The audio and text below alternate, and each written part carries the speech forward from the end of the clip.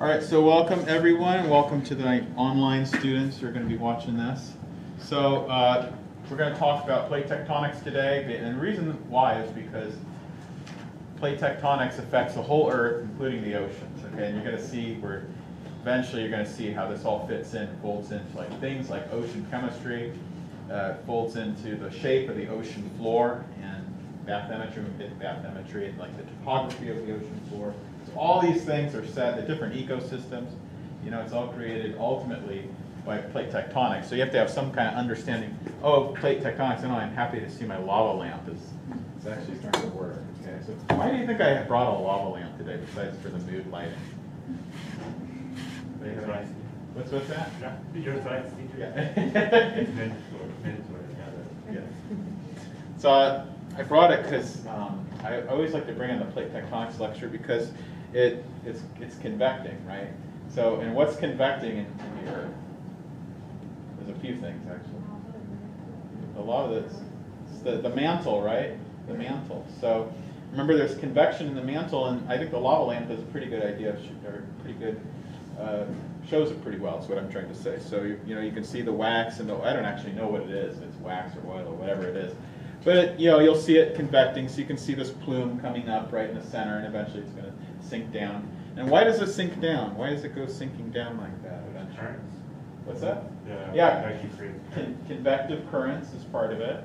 Another part of it is just that there's buoyancy differences, right? There's density differences that create buoyancy. That's maybe what makes it float or makes it sink, et cetera, et cetera. Okay, so the same thing is going on in the mantle. The same thing's going on in the mantle. And it's going to make lithospheric plates either sink or float, right? And there's going to be this great churning of, of the mantle, turning over of the mantle. It happens every, about on average, maybe every 100 million years. Okay? The mantle's completely churning over. So I know it's strange to think of this, but eventually, someday, the ocean floor, you think about the Pacific, the bottom of the Pacific, bottom of the Atlantic, it's going to have sunk all the way down to the core mantle boundary. 3,000 kilometers. It's going to sink down there and it's going to rest down there. Isn't that a crazy thing to think of? You know, think of the Atlantic Ocean, the ocean floor. It's going to sink down, hit the very bottom. The core mantle boundary, right? It's going to sit on top of the core. Why doesn't it sink into the core, you think? Core is liquid, right? Outer core is liquid. Why doesn't it just sink right into the core?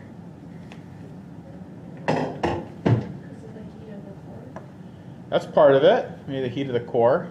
But also, what's the core made of? Metal. And is, what's the density like of the metal versus the, the rocky mantle? Yeah, it's denser, right?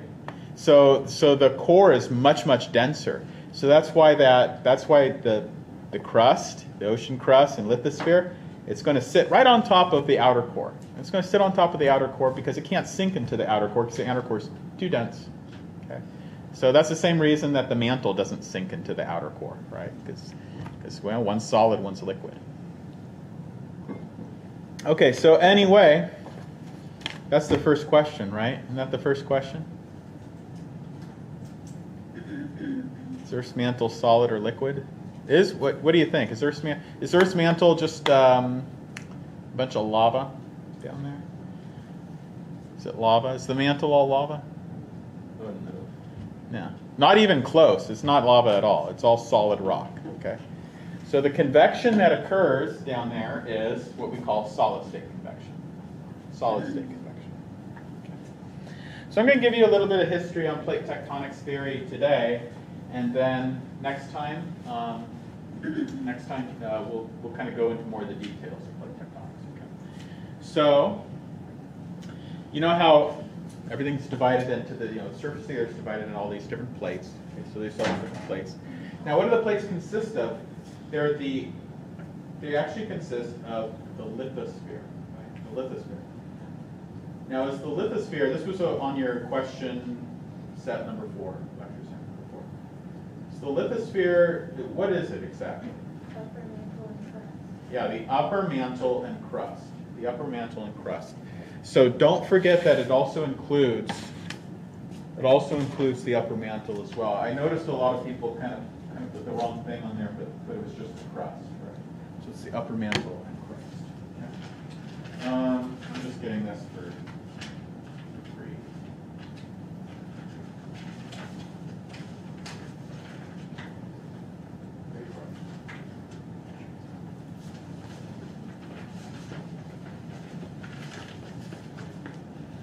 Okay.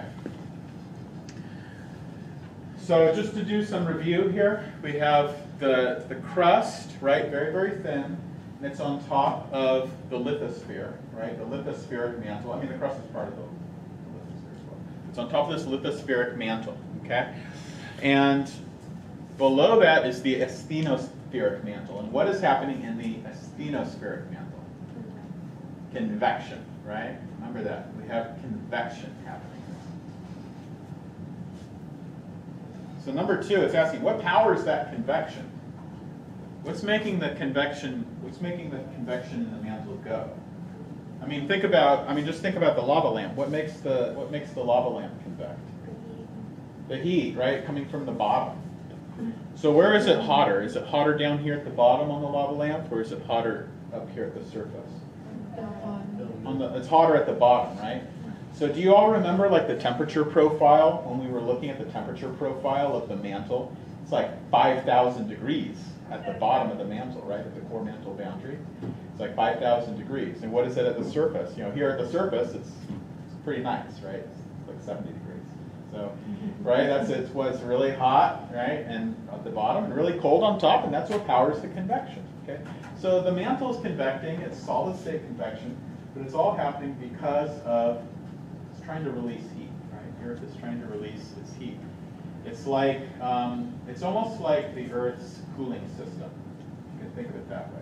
It's sort of like Earth's cooling system, it's plate tectonics. So Earth is just trying to release its heat because it's got, it's very, very hot in the center, right? It's, it's white hot. White hot. Now, um, what's the difference? Number three, what's the difference between the asthenosphere and lithosphere? Okay, do you remember that from the, from the, uh, I think it was lecture assignment number four? Right, what's the difference between a asthenosphere and lithosphere? What it, what it's made out of? Is that what? That's a good question. Is, is the difference between a asthenosphere and lithosphere, is it compositional? Is it based on like the lithosphere, like for example, is the lithospheric mantle, is the lithospheric mantle different, made of different stuff than the asthenospheric mantle? Yes. Try again. Yes, no. yes, no. I wouldn't have necessarily expected you to know that, but it's, it is, it's, but it's, it's both the mantle, we call it the mantle for the same reason, the lithospheric mantle and the asthenospheric mantle. They're both mantle, they're both made of the exact same thing. The reason that we call it lithospheric versus asthenospheric is because there's a mechanical difference. Do you remember me saying that, trying to emphasize there's a mechanical difference between asthenospheric and lithospheric? So the lithospheric mantle behaves more lithos, it behaves more like a rock or stone. So lithos, Greek term for, for rock or stone. Okay, asthenos means no strength. Asthenos means no strength. So asthenospheric mantle is the part of the mantle that behaves more maybe like silly putty. Why is that? If they're the same, made out of the same material, why is one weak? Because, because they're made at, they're at different pressure, temperature conditions. That's a very good question. Yeah. They're at different So, Pressure, temperature conditions. Should I write that the asthenosphere is, is convects and the lithosphere? Yeah, the asthenosphere, you could mention that it convects, the lithosphere does not. But you can also mention that, you know, there's a mechanical difference between the two, okay? Lithosphere breaks and cracks and crumbles like a cookie. And the asthenospheric, mutter, uh, asthenospheric mantle is more like, maybe like warm butter. That's the way I kind of think of it, you know? Warm butter, not quite melted yet, it's, it's soft, but it still holds its shape, it's still solid. But it hasn't, it hasn't quite melted yet. So most of the asthenospheric mantle is close to the melting point, but it's not quite there. So it's absolutely a solid, but it is able to move and convect and flow, et cetera, et cetera. Okay, so there's the asthenosphere, the lithosphere. This is showing the temperature of the Earth, the black line, versus the melting temperature of the Earth. And you can see that it gets very, very close to it in the asthenosphere, but never quite, never quite, never quite goes over the line, right? Maybe sometimes it's even on the line, but it never quite goes over it. Okay. So that's kind of reason it's, it behaves the way it does, which is a really weird way to behave if you're a rock, right? You don't think of rocks as bending and folding and molding and all these things? All right, now another thing I wanted to introduce to you here is very important. And um, I don't know if I actually have this on this one. This kind of shows up more on the next, I think. I think so. But um, I wanted to kind of introduce this to you because it comes up a lot. If you look at the age of the seafloor, you get the youngest rocks kind of actually in the center, in the center of the oceans. Do you see that? So you get the youngest rocks actually in the center. Some of these rocks are totally baby rocks. Like they're they're literally like zero years old. So they're newborn baby rocks, just born that day. And some of them, when you get you get further out, they get to up to. Do you see what? So you see how old the blue stuff is? It's about 180 million. Okay, so that's the very oldest it gets, about 180.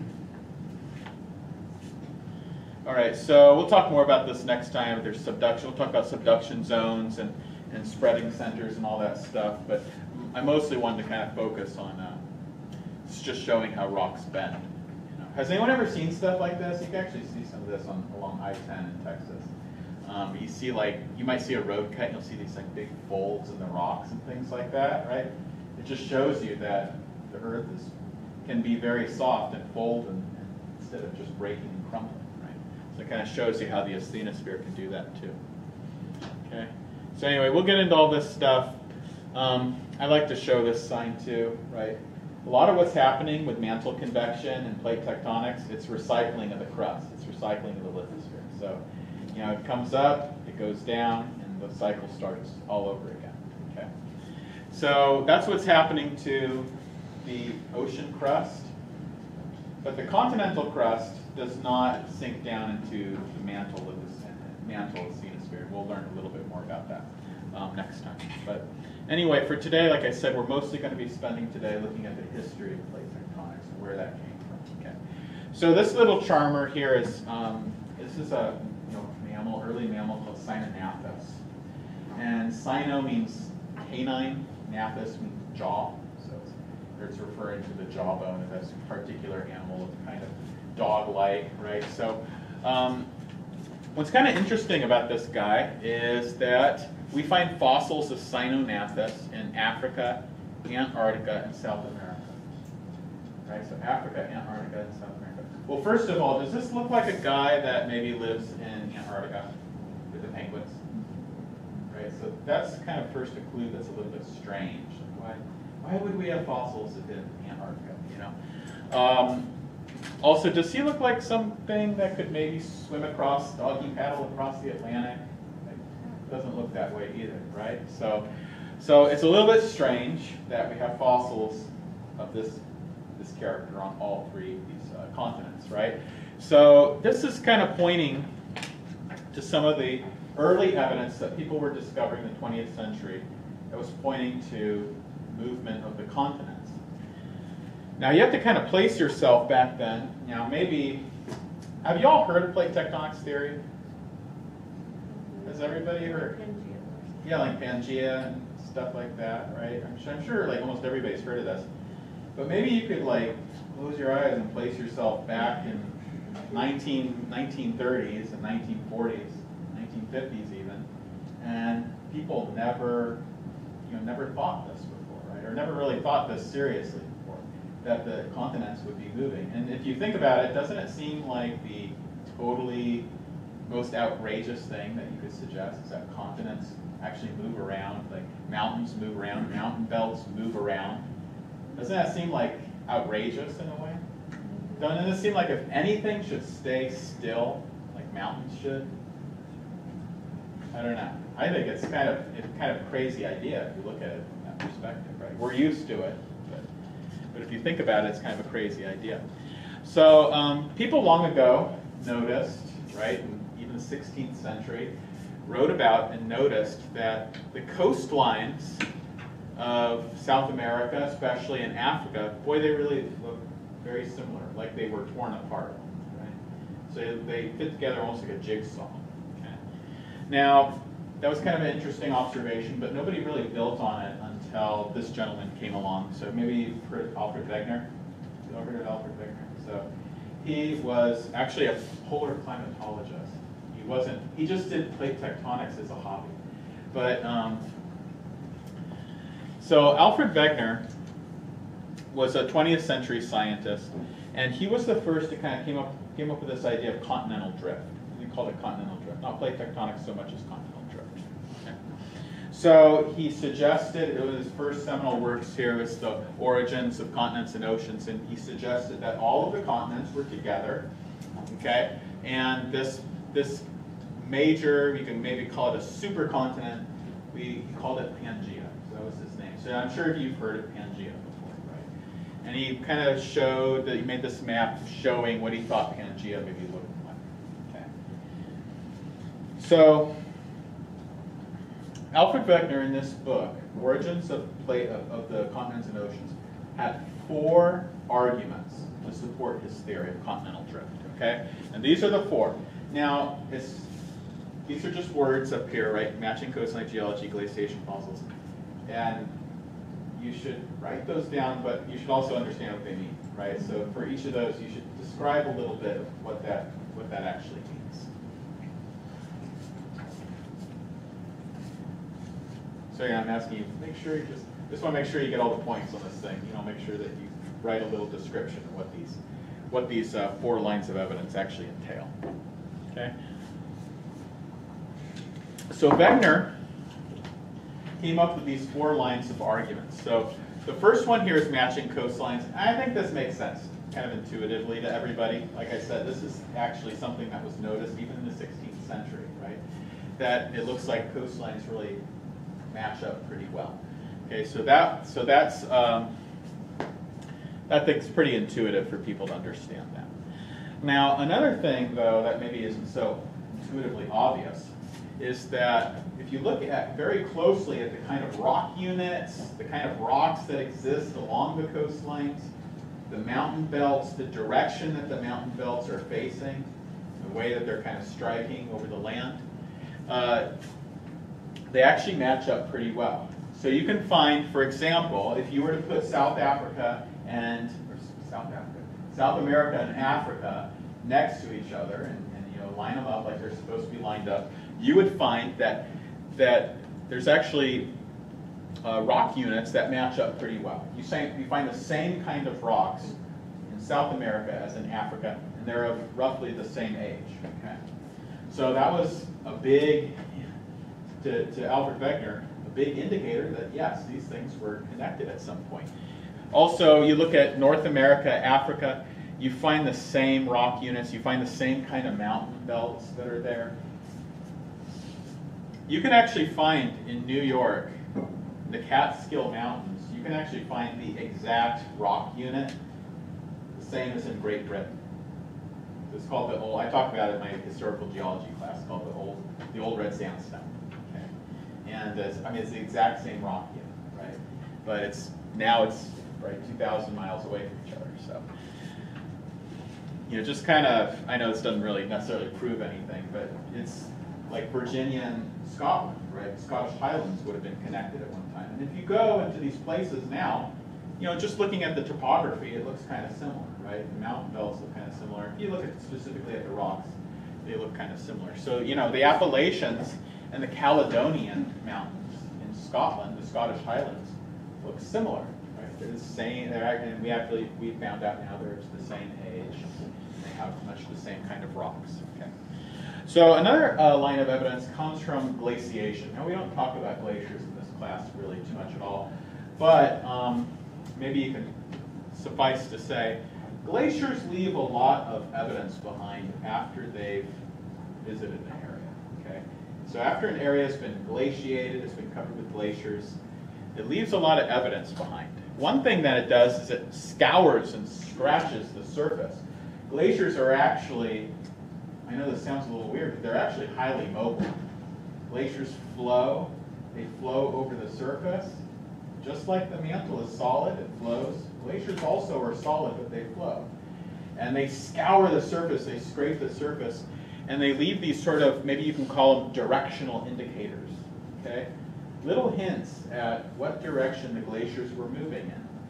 Well, guess what? If you put all the continents together, like their coastlines would suggest they were together at one point, you'd find that a lot of these directional indicators on the different the different continents, the directional indicators that are coming from the glaciers, left behind by the glaciers, they all match up, right? So they're all in line. So that was another line of evidence that uh, Alfred Wegener was looking at. And yet another thing, think about this. Would you expect, there's actually evidence of glaciers in India. Would you necessarily expect India, like, or, you know, what is now like equatorial Africa? It's like dense jungle, right? Rainforest now. Do you expect that to, to have glaciers at any time? Probably not, right? So that kind of is an indication that maybe the climate has, you know, maybe, well, maybe the climate changed, but also maybe these continents were at different latitudes at one time. So does that make sense to everybody? So, so there's some evidence from glaciation. Now another thing, and I kind of introduced this already with Cynognathus, but there's a lot of fossil evidence. So Cynognathus, I already talked about. Um, there's this little guy. Now, um, I wish I kind of had a better picture of this that kind of showed the scale. This is Mesosaurus. It's a Mesozoic aged freshwater aquatic lizard. Okay, so it was a freshwater aquatic reptile. And it was only about this big. Okay, so it wasn't, this wasn't like a huge dinosaur shaped thing. Okay, it was only about that big, size of a shoebox. What's kind of interesting is that we find Mesosaurus in South America and in Africa. And it's just not the kind of thing that would probably make a transatlantic journey. Okay, it's, it's too small to do that. It's, it was also a freshwater animal, it wasn't a marine reptile. And you know, I mean, you know how it is, right? I mean, usually you think about fish, right? There's saltwater fish, there's freshwater fish. Usually they stay, something, an animal stays in either freshwater or saltwater. Usually it doesn't go both. But another thing that's kind of weird, does anybody find it odd that Mesosaurus was able to cross the Atlantic, but couldn't, for example, go further north in Africa or further north in South America, or couldn't make it, you know, further to the east or the west. Like they have a fairly limited range on their home continents, but for some reason was able to cross the Atlantic. So that seems a little bit weird. Do you, do you see my point there? So that was the point that Alfred Wegener was trying to explain. So what's kind of, I guess, tragic or ironic about Alfred Wegener's life is that this guy was roundly rejected from the scientific community during his lifetime. And what's, again, ironic about this is now he's seen as like the father of modern geology, right? But during his life, he never enjoyed any of that fame or fortune, right? He was, he was rejected because people just thought it was a crazy idea. Like they could say, okay, yes, yes, Mr. Wegener, we see your evidence, and it's good evidence, but how could this ever happen? What could make, what could possibly make continents and mountains move?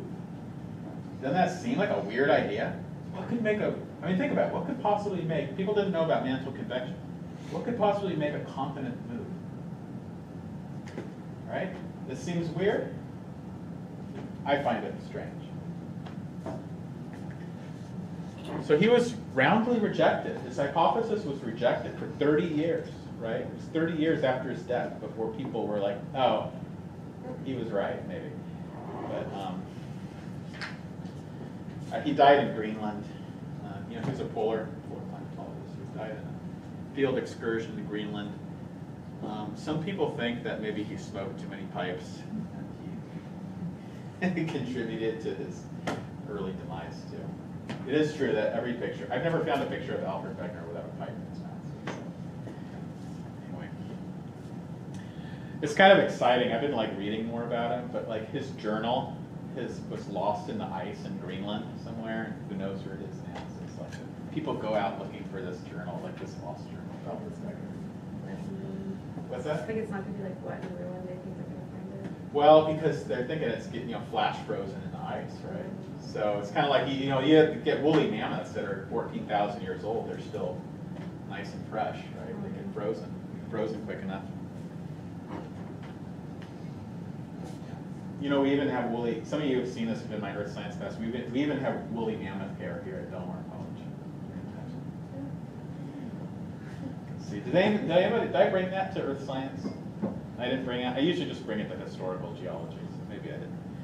I guess I could bring it to oceanography, and the woolly mammoths have nothing to do with the oceans, but I could just bring it so you can touch it, be like, oh wow, this would be what it's like to pet a woolly mammoth. It's actually not very pleasant. Okay, so uh, what happened? Why did people like suddenly change their mind and be like, oh, uh, maybe he was right? And is he still alive now? He died 30 years ago. That's bad, right?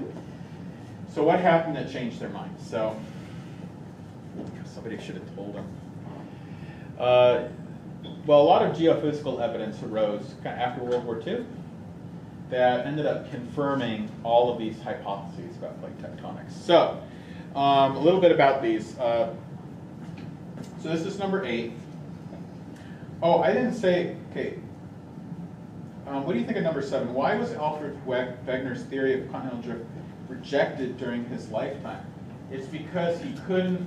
It's actually right here. He didn't have a mechanism. He could explain the evidence. He could show the evidence for it, but he couldn't explain how this could possibly occur. He didn't have. He didn't have a mechanism. Do do y'all see the problem there? Mm-hmm. He couldn't explain how this could happen. Because remember, they didn't know that there was con, they had no idea at this time. They had no idea about mantle had no idea about mantle convection.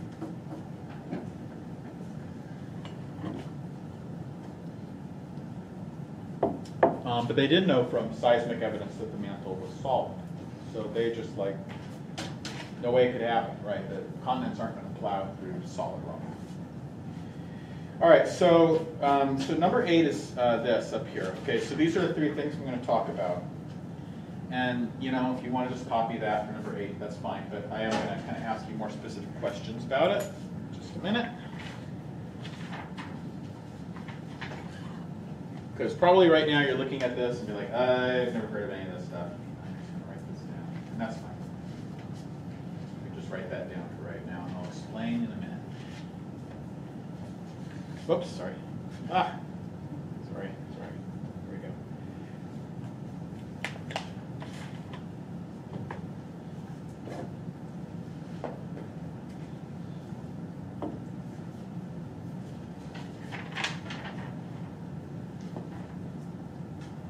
Okay, Jill, did did you get, I guess some people are still writing. so. But do you notice there's a word that pops up here three times in each of these? Symmetry, right? So what people saw was that there's a lot of symmetry on either side. Well, number one, they saw that there's a ridge in the middle of the ocean that I pointed out earlier. And they saw that there's symmetry on either side of that ridge. So they're kind of, the oceans kind of looked as if they came from this central point, this central. So I'll explain, I'll show you more in just a minute. So symmetry, symmetry, symmetry. That's what kind of ended up showing that Alfred Wegener was right. Symmetry in the ocean floor. So uh, the story of how plate tectonics came to be embraced by the scientific community starts with this gentleman. This is Harry Hess, very, very famous geologist, very famous oceanographer. And he started off his career as a naval captain uh, during World War II. And you could imagine that during World War II, people were very, very interested in sonar and figuring out how deep exactly the oceans are and what the ocean bottom looks like, and et cetera, et cetera, et cetera. Why do you think they were interested in things like that in World War II? Yeah, U-boats, right? They were a constant threat to Allied shipping across the Atlantic. Constant, constant threat was number one worry that uh, you know, I was, I was reading, over the summer, I was reading some like, you know, first-person World War II accounts of like the soldiers, the Allied soldiers that went across. And that was like number one thing they were all concerned about, U-boats sinking the transports going across, right? So people were very interested in depths of the oceans and sonar and mapping out the bottom of the ocean, right? So, so they want to know how deep everything is, et cetera, et cetera, et cetera. So, um, so Harry Hess is working on these transports, you know, doing sonar and echo sounding. And uh, the way echo sounding works, and we're going to talk a lot about echo sounding in this class. We did a lot of echo sounding. But uh, you probably know a little bit about this. You maybe has anyone ever been on a boat, like a fish finder, something like that? You might know that you can you can emit a sound wave, right? It comes from the ship. It's just like what I talked about last lecture, right? Multi-beam echo sounding, okay? It emits a sound wave, it bounces off the bottom, and the time that it takes for the sound wave to travel tells you how deep the ocean is. Okay, so this was relatively new technology in World War II, and it, it let people really measure with great precision the shape of the bottom of the? And you might know with fish finders, you can get pretty good images of what the bottom of the, bottom topography looks like, right? Bathymetry. So that's what happened, right? They, they were measuring the depths of the oceans, and they started to find something very, very strange.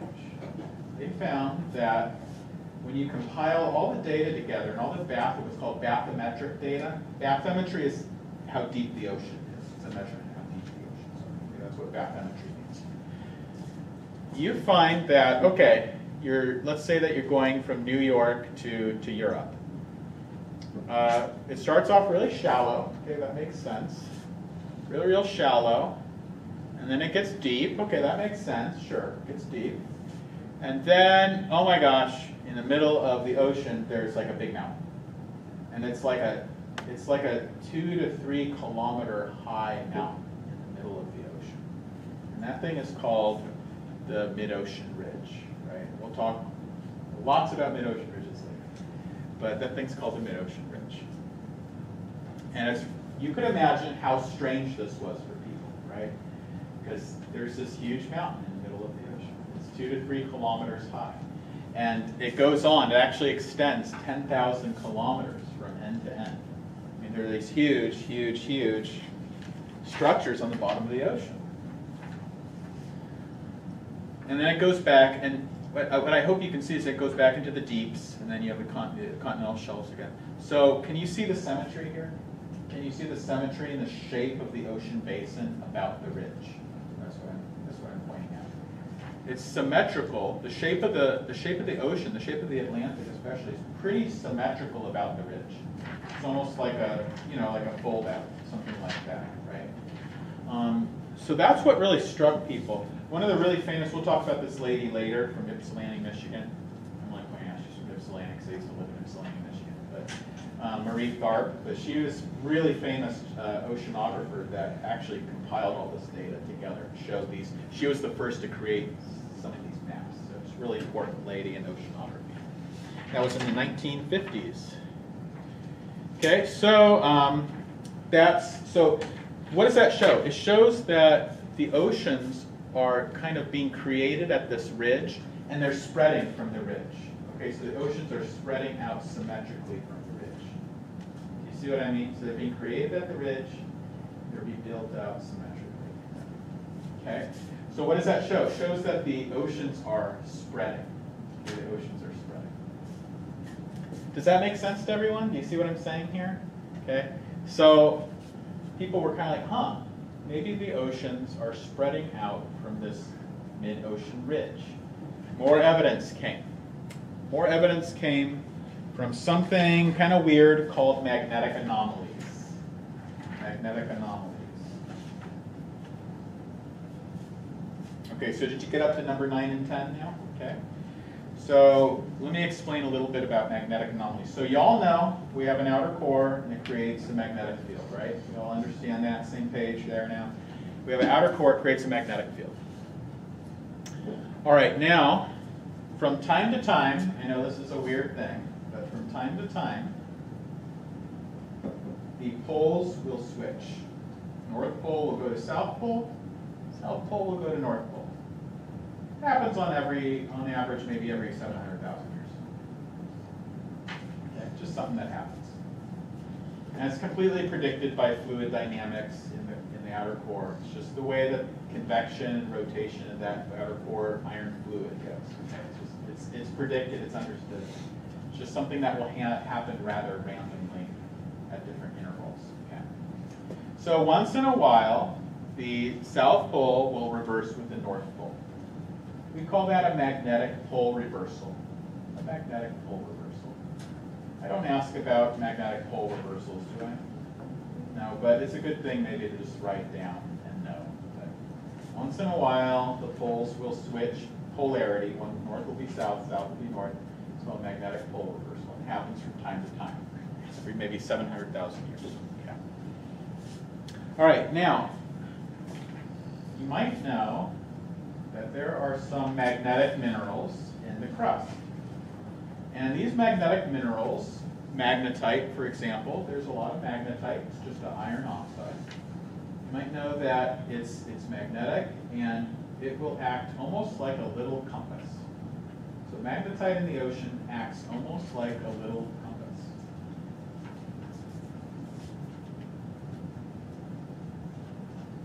And what's really cool about magnetite is that it'll be the little magnetic crystals will point to the north. I don't know if this is north, but let's just say it is. It'll point to the north.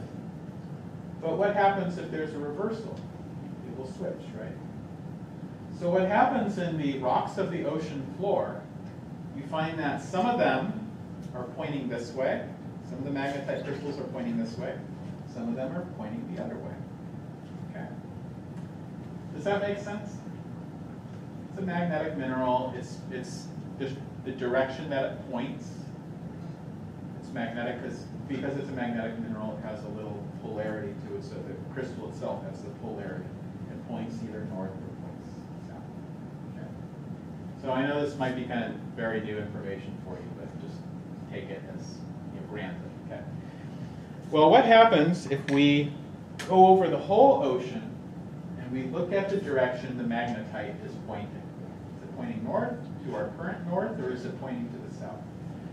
And we actually can do this. We have these things that look like proton torpedoes or something, but they're actually they're actually magnetometers. They drive drag them behind boats, tow them behind boats, and they can actually remotely figure out what direction the magnetite is pointing, whether it's pointing north or south. Okay. And what you find is this. There's parts of the seafloor that are pointing the normal direction, and then they reverse. And then there's part of the seafloor goes back to normal, and then it reverses. And then normal, and then reverse, and normal, and reverse. And guess what? It's exactly the same on the other side of the ridge. It's exactly the same. It's exactly symmetrical. So it shows you, it's, it's almost like a barcode, right? Doesn't that look like a barcode? The barcode on either side, pattern of normal polarity and reverse polarity of the magnetite grains on either side of the ocean, they exactly match each other. Okay? On either side of the ridge. So what does that show? It shows that the ridge, the ocean floor, came out symmetrically from the ridge. So it was spreading symmetrically from this ridge and being created symmetrically from the ridge. So it shows that the oceans were being created from the ridge. So oceans were spreading. They started off small and they spread from the ridge. And as they spread from the ridge, they're pushing the continents apart. Okay, does that make sense? Does everybody follow that? Okay, so can you write a sentence explaining that? Does everybody feel comfortable with writing a sentence like explaining what a magnetic anomaly? So the magnetic anomaly is that reversal, right? The anomalous direction of the magnetite grains pointing to south instead of north, right? Because there was a reversal at some point in Earth history. Can every, does everybody, does anybody like, you can shake your head, and say, I have no idea what I'm writing. Okay. okay, so magnetic reversal. So a magnetic anomaly is one of these magnetic reversals that occur from time to time. Magnetic anomaly is just one of these magnetic reversals that occur from time to time in Earth history, over Earth's history.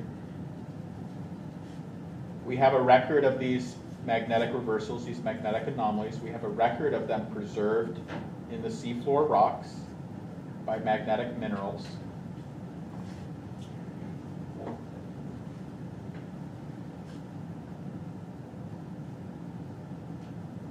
And we can look at, we can actually pick up and read and see what the uh, orientation of those magnetic minerals, we can actually see in the rocks, measure in the rocks, the, the orientation of those magnetic minerals, and show if this was a period, when the rock was created, was it a period of normal polarity, or was it a period of reversed polarity?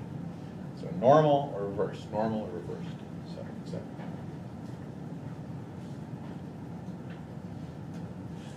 So what are magnetic anomalies? It's just a period of reversed polarity. The outer core is generating, you know, the magnetic field, and the poles reverse, north to south, south to north. And how are those magnetic anomalies preserved in the rock? Can anybody answer that now? Does anybody feel comfortable? How are those magnetic anomalies preserved in the rock?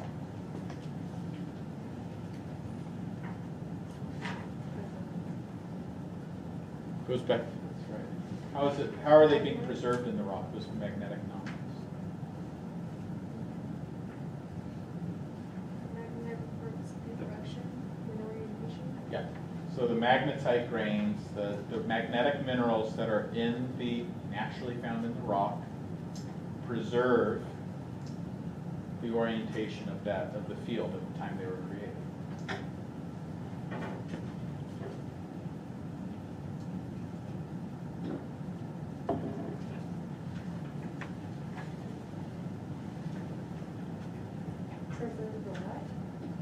They preserve the orientation of the magnetic field when they were created because they, they're, they're magnetic, the minerals themselves are magnetic that are in the rock.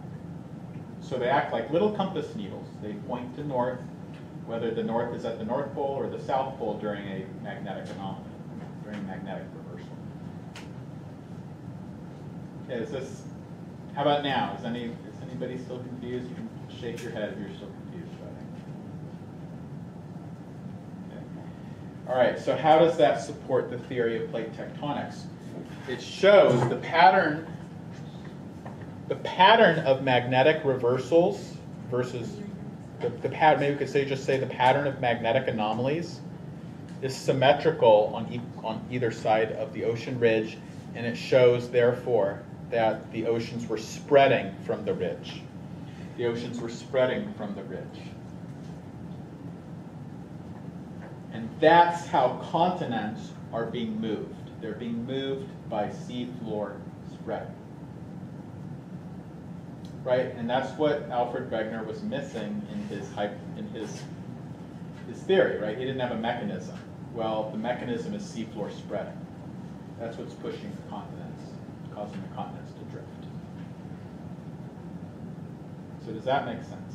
The pattern of what? What's that? What did you say, the pattern of, I didn't hear you. Sure. Let me. I'll just. I'll just keep saying. Okay. I'll keep saying. So. So. No, so how does this prove the theory of plate tectonics, theory of continental drift? It proves it because the pattern of magnetic anomalies is the same. It's symmetrical. It's the same on either side of the ridge. So here's the ridge right here. Okay, can you see on either side of the ridge, the pattern of magnetic anomalies is the same. That shows that the, the ocean was being built up and created, spreading symmetrically from the ridge. Therefore, seafloor spreading is happening. That's what's pushing the continents apart, causing continental drift, plate tectonics, et cetera, et cetera. Okay, so that's, you should write something like that for, what is it, question number, right, question number 13. Okay, I know this is really hard. This is like the hardest, probably one of the, probably up to now, probably one of the hardest concepts in the class. So it's up there. It's probably in the top five hardest concepts in this class. So if you're struggling with it, it's okay. Okay, so are we ready to move on? Yeah? All right. You don't have to understand it perfectly. but just magnetism, something, seafloor, plate tectonics. Okay, so anyway, um, the next thing is, okay, the next kind of nail in the coffin that proved that plate tectonics was a thing was when we finally developed radiometric dating. Okay, so radiometric dating is where you use radioactive isotopes to figure out how old a rock is. Okay, so radiometric dating provided further evidence for seafloor spreading continental. How did it do that?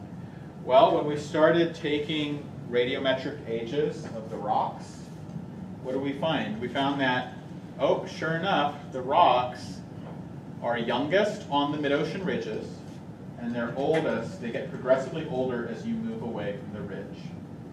So they start off young, and they progressively get older as you move away from the ridge. Okay? So again, what does that show? It shows that the rocks, this is like much easier to understand, I think. It just shows that the rocks are being created at the ridge and they're spreading out from the ridge. You're getting it directly now from the, from the ages.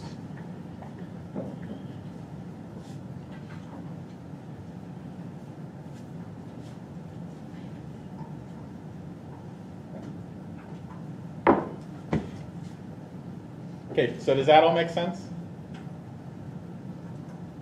So do y'all see how that supports plate tectonics theory? Because remember, what did Alfred Wegener lack? What was he missing from his theory? A mechanism, right? This is the mechanism. It's seafloor spreading. Okay, it's put the seafloor is spreading. It's pushing the continents away from each other.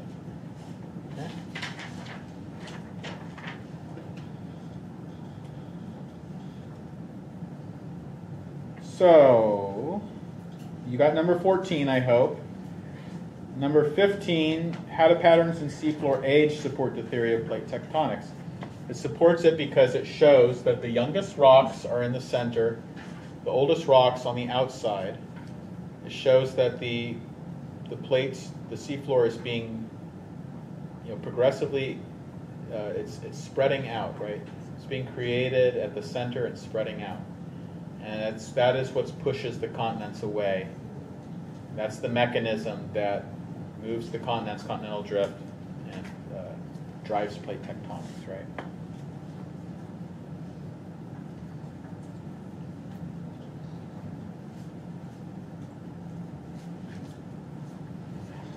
Okay, so this is kind of just the de- depiction of how this all works, right? You start off with continent A and B practically touching, but a mid-ocean ridge develops in the middle of them. And this actually starts with a process called continental rifting. Has anyone ever heard of a rift? A rift in the continents? So there's like, for example, there's a real famous one in East Africa. Has anyone ever heard of the East Africa rift? Okay, well, East Africa rift is it's a big deal, but um, that's kind of like where continents are ripping apart. So they start to rip apart. They develop actually an ocean in the middle of them, and as that ocean grows with time, it pushes the continents apart. Okay? So that's ocean, sea, that's what's called seafloor spreading. So you can see seafloor spreading is the mechanism that Alfred Wegener was missing that pushes the continents away from each other. Okay? So hopefully that kind of tells you uh, the answer number 16. Okay? So does everybody feel good with 16? No? Still? Okay, so seafloor spreading. What is seafloor spreading? It's just the idea that the seafloor is starts off at the mid-ocean ridge and it gets progressively older and it spreads out over time, right? So it starts off very small, it gets bigger and bigger and bigger as it's created at the ridge. So ocean floor is constantly created at the ridge. And as it gets created, it pushes the continents apart from each other. And that's that's the continental drift, right? That's what pushes continent A and B away from each other over time. Okay, so it seems like most people have gotten it, so I'll move on. I'm almost done here, as you can see. So, um, wanted to show you a little bit of this. So this, these are really, and this will become very important as we look, go through the class. Is these are very volcanically active areas. Okay, right here on the mid-ocean ridges. So there's constant volcanism uh, occurring on, along these mid-ocean ridges. So this is this is kind of video. Scares me every semester about it.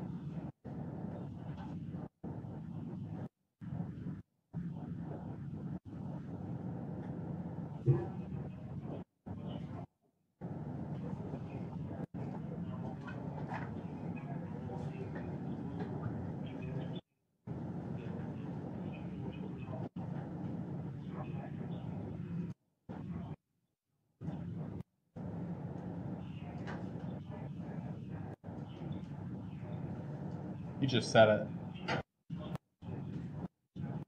Did y'all hear that? He was saying that 80%. 80 so this is actually pretty crazy that you know this this ROV remember we talked about ROVs right these remotely operated submersible vehicles they they just recently were able to get these to go to a mid-ocean ridge and actually view real time you see the video. And this has just happened in the last like several years you know? And this is the most common the place of the most common place volcanoes occur. It creates 80% of the volcanoes that are happening are it's this right? So the volcanoes that you see on tv that's only 20% of the volcanoes that are actually happening on earth. Vast majority are happening like this underwater at the mid-ocean ridges and we just don't see it. So this is like the first time it was really caught on camera like that. And it's just happened in the last several years you know? So so that's what he was trying to impress upon his audience that guy that was talking. Okay. So what's constantly created at mid-ocean ridges? Volcanoes and ocean crust right? Ocean crust is constantly being created at the mid-ocean ridges so it's constantly created and then it pushes out and keeps pushing out pushing away from the ridge and spreading the seafloors and spreading the continents making them drift further away from each other okay? So does everybody understand this? Does this all make sense? I know magnetic anomalies are very hard to understand but if you can at least get superficial grasp on those that's fine for the class okay? Um, Oh, number four, what is it? What drives seafloor spreading continental drift in all plate tectonics? Mantle convection. It's mantle convection here. So yeah, this thing, I gotta plug this in earlier because then it doesn't. Oh, it's just starting to go now. There's the first little piece. Okay, whatever. But anyway, um, I just want to before you go. I just want to say one last thing here. Um, okay, the seafloors are spreading, right? The seafloors are spreading, but the Earth isn't like getting bigger, right? So there has to be a place where ocean crust. So we see where ocean crust is created. We have to see where it's destroyed. So next lecture we'll see the places that they're destroyed at. Okay, so that'll be kind of look at that. All right, so I will read ten little extra credit assignments for you, so you can play with that simulator, and uh, I'll do that Monday. And have a good weekend, and I will see you next time. Make sure to leave your assignment number five, history of marine science, on your desk there, and I will come collect it. And have a good weekend. See you next time. Yes. Three out of ten on this one. I, there's no grade, but I didn't know if. But you gave me three out of ten on the thing, so I didn't know if there was like a reason or. I have no idea why I did that. Because like I got the, the other thing right the other day, and I was like three out of